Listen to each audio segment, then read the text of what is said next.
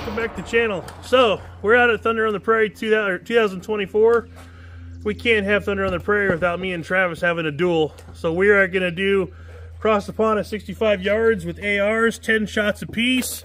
Winner, winner, chicken dinner.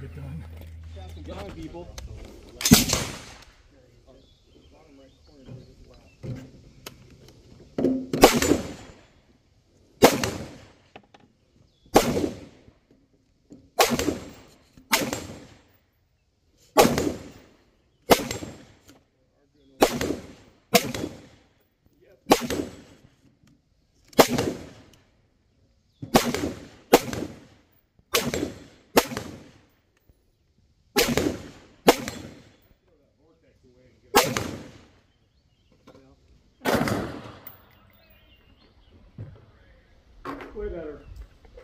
That jumping on you? What? The vortex is jumping on you? I think that vortex is moving. Is it the mounts or is it the? I don't know that it could be the mount. I mean, the mount is all one piece. Right? What, Hard to argue with that. what's that mount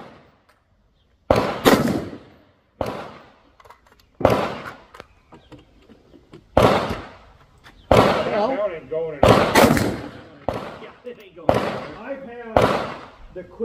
Now you shoot that plate off?